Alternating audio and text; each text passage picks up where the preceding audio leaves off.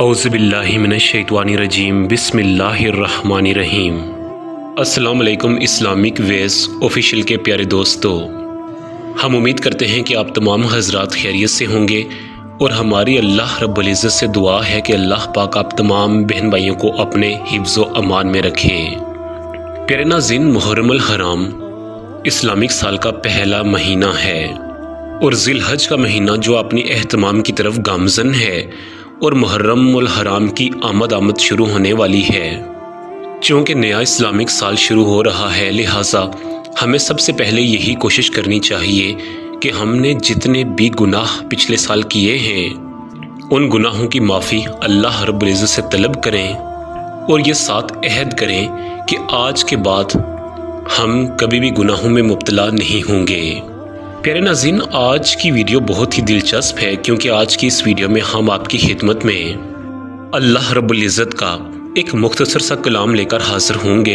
ये कलाम आपने मुहर्रम का चाँद देखकर सिर्फ़ और सिर्फ़ बीस मरतबा पढ़ना है।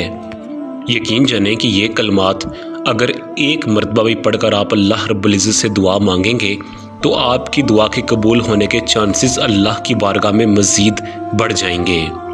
लेकिन हम आपको यही कहेंगे कि आप अव्वल आखिर तीन तीन मरतबा दरूद इब्राहिमी के साथ बीस मरतबा इस कलाम को पढ़ें और उसके बाद जिस तरह आपको दुआ बताई जाएगी, उस तरीक़ाकार से आप दुआ मांगें तो इन आपकी चार किस्म की हजात पूरी होंगी। इस वजीफ़ा का पहला फ़ायदा ये होगा कि आपको इन गुर्बत से निजात मिलेगी। दूसरा फ़ायदा ये होगा कि रिस्क में आपका इजाफा होगा। तीसरा फ़ायदा ये होगा कि माली मुश्किल का आपको हल मिलेगा। और चौथा फ़ायदा ये है कि कर्ज से इनशाला आपको निजात हासिल होगी। प्यारे नाजिन आज के अमल की जानब जाने से पहले आपसे बना दरख्वास्त है कि जिन बहन भाइयों ने अभी तक हमारा channel Islamic veg official subscribe नहीं किया, वो सबसे पहले हमारे चैनल को सब्सक्राइब कर लें और साथ में लगे बेल के आइकन पर भी लाजमी क्लिक करें। ताकि हम आपके लिए फ्यूचर में जब भी कोई नई वीडियो अपलोड करें तो उसका नोटिफिकेशन बर वक्त आपको मिलता रहे। प्यारे नाजिन, हम मुहर्रम हराम महीने की चंद खसूसियात जान लेते हैं, ताकि हमें पता चल सके कि ये महीना कितना बाबरकत और हमारे लिए कितना बेहतरीन साबित हो सकता है। ओलिया कराम किताबुल तफसीर में लिखते हैं कि जो कोई शख्स मुहर्रम हराम के पूरे महीने पाँच वक्त की नमाज़ की पाबंदी करेगा कुरान पाक की सच्चे दिल के साथ रोज़ाना की बुनियाद पर तिलावत करेगा तो अल्लाह रब्ज़त उसे गुरबत से निकालकर खुशहाली की तरफ़ गामजन कर देंगे। मुहर्रम हराम को इस्लामिक सालों में इसलिए भी फजीलत हासिल है क्योंकि इस महीने हज़रत आदम सलाम की इस महीने तोबा कबूल हुई, यानी दस मुहर्रम हराम को उनकी तोबा कबूल हुई थी। इसके अलावा हज़रत नू सलाम की कश्ती श्रीलंका में एक जोधी पहाड़ है, उस पर उतरी।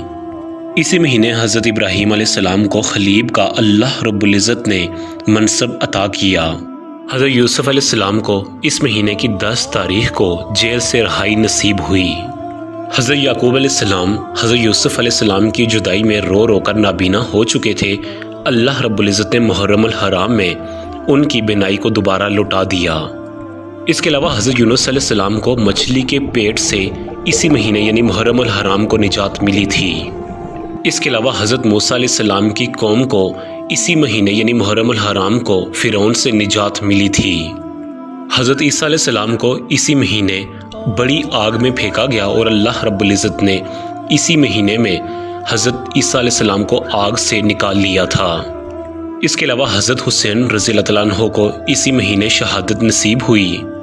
प्यारे नाजिन ये चंद एक फ़जाइल थे जो कि मैंने आपकी खिदमत में पेश किए ताकि आपको पता चल सके कि मुहर्रम हराम हमारे लिए कितना कीमती महीना है और इस महीने अल्लाह रब्ज़त रमज़ान मुबारक की तरह हमारी दुआओं को लाजमी कबूल करता है।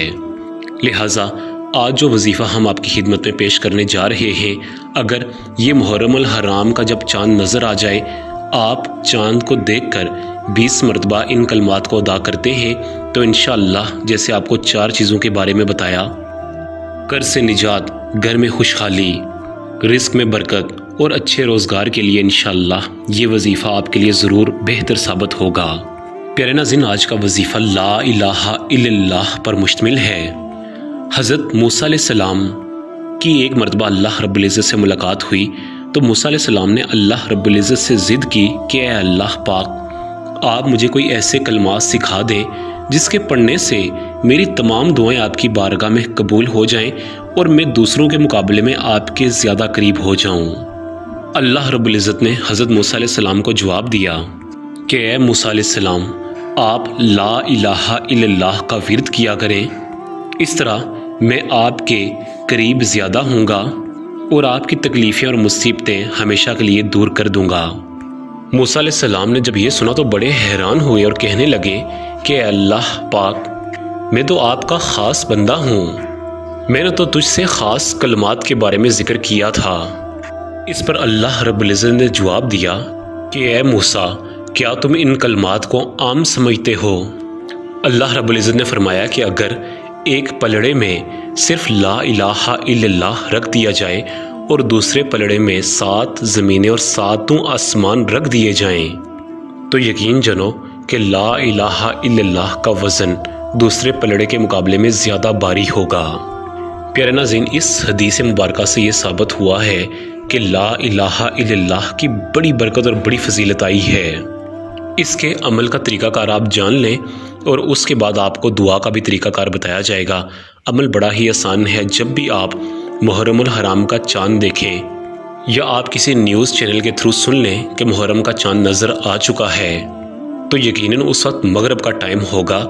आप फ़ौर मगरब की नमाज़ अदा करें, दो रकत नमाज़ नफल आप पढ़ें, और आपने उस वक्त ये नीयत अपने दिमाग में रखनी है कि अल्लाह पाक मेरी फ़लाँ परेशानी है कर्ज़ मेरे ऊपर ज़्यादा हो चुका है या मेरे रिस्क के मसाइल हैं, ये बात अपने जहन में रख कर दो रकत नमाज़ नफल आपने पढ़नी है।